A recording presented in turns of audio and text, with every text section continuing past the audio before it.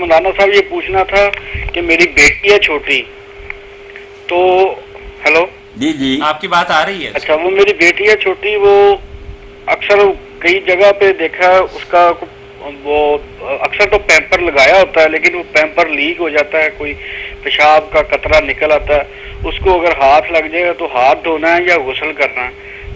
सिर्फ़ हाथ ही धोना आपने। हाथ ही धोना हाँ? और यानी गुसल नहीं करना बस हाथ ही धोना है।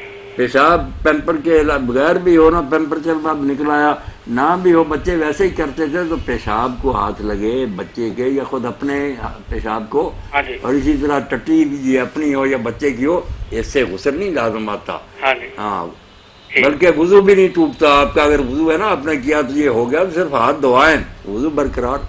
अच्छा अच्छा अच्छा हाँ, तो वो। बताया नहीं कि जो लड़की का अगर पेशाब लग जाए तो वज़ू करना ज़रूरी गुसल करना ज़रूरी हो जाता है लड़के का नहीं होता। नहीं यही बातें गलत मशहूर हो गई ना। शुक्र है इस प्रोग्राम में आप सब भाई हिस्सा लेते हैं तो मसले वाजे हो रहे हैं। हाँ पेशाब को हाथ लगने से या बच्ची और बच्चे का पेशाब कपड़े पर या बदन पर गिर जाए हाँ तो गुसल नहीं लाजम आता ना वज़ू लाजम आता। वज़ू अगर पहला वही बरकरार है। ये पेशाब वगैरह धो ले। और गुसल की तो कोई ज़रूरत नहीं। वो अलग बात है कि बच्चे के पेशाब पर बच्ची का आपने फरमाया रसूल करीम का इशाद पाक है कि बच्चे के पेशाब पर सिर्फ़ छींटे हाँ फेंक दो धोने की ज़रूरत नहीं कपड़े को। और अगर बच्ची का है तो उसको धो लो। ये फ़र्क किया बच्ची बच्चे के पेशाब में। अच्छा अच्छा और मगर इसके साथ मैं ये भी बात कहता रहता हूँ जब मालिक रहमतुल्लाह ने कही कि ये कानून उन लोगों के लिए है जिन्होंने कभी बच्चा इतफाकन उठाया।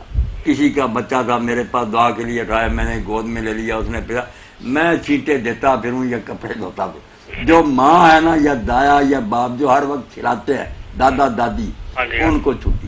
पेशाब होता रहे जो जी चाहे कोई ना छींटे हैं ना कोई बात। वो अगर हर वक्त धोते रहेंगे या नमाज़ छोड़ देंगे इस मुसीबत की वजह से हाँ या बीमार हो जाएँगे सर्दियों में छींटे डालते।